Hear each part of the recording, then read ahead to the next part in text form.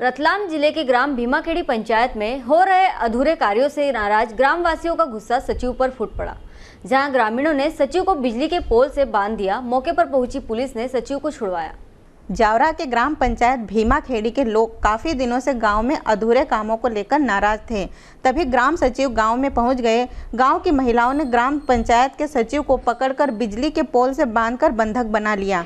मौके पर पहुँची पुलिस ने ग्राम पंचायत सचिव को आज़ाद कराया। साथ ही सीएसपी अगम जैन ने बताया कि पुलिस ने एक महिला सहित तीन लोगों पर मामला दर्ज कर लिया है। रतलाम से संवाददाता की रिपोर्ट।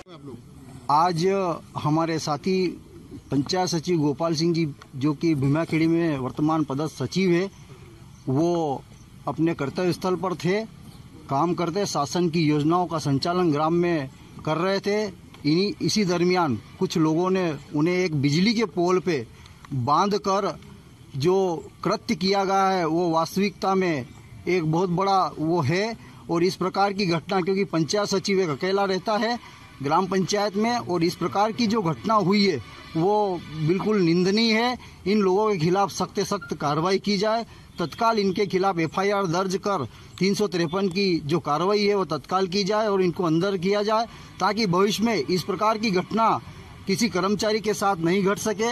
यही हमारा निवेदन है, क्योंकि वर्तमान परिवेश जो है, इस प्रकार की शासन की कितनी योजनाएँ जो एक पंचायत सचिव संचालित करता है, और ऊपर से हमारा क्या है जो शासन से आएगा, वो हम नीचे स्तर तक पहुँचाने का कार्य करते हैं, जो योजनाएँ पहुँचाने का कार्य करते हैं, पर समय पे नहीं मिलना, उसका एक अकेला सचिव का कारण नहीं बनता है।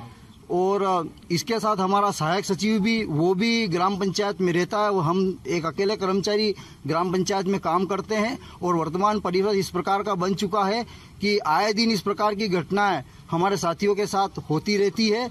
कृपया इससे प्रशासन को अवगत आगे हम कराना चाहते हैं कि इन लोगों के खिलाफ कारण क्या रहा? किस कारण उन लोगों ने आपके सचिव को बांधा? कारण कुछ भी नहीं सर। एक नाली का मामला था। पूरे पूरे गाँव के अंदर गंदगी का साम्राज्य पैदा है। नहीं नहीं सर। सरों का प्रकोप है।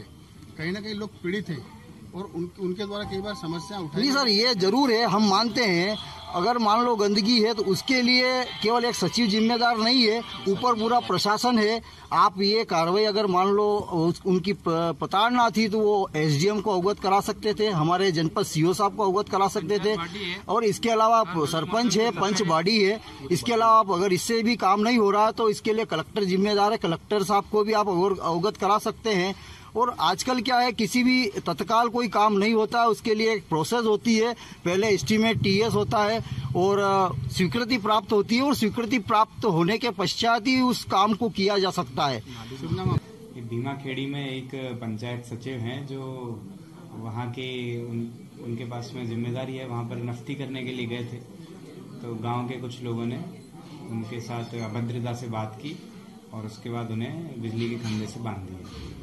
किस तरह का मारपीट भी गई हाँ इस तरह से अभद्रता से बातचीत की है और उनको बाँध करके रखा था वहाँ। सर कितने लोगों पर ऐसे प्रकरण ऐसे तीन लोग हैं जिन्होंने इस तरह का काम किया और उन पर प्रकरण प्रकरण पंजीबद्ध एक महिला भी इसमें आरोपी है। विभिन्न आईपीसी की धाराएँ हैं तीन सौ तिरपन तीन सौ बयालीस दो सौ चौरानवे पाँच सौ छह। इसमें